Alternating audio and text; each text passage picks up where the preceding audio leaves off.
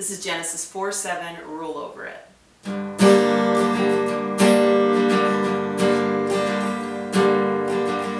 if you do not do what is right, oh, sin is crouching at your door.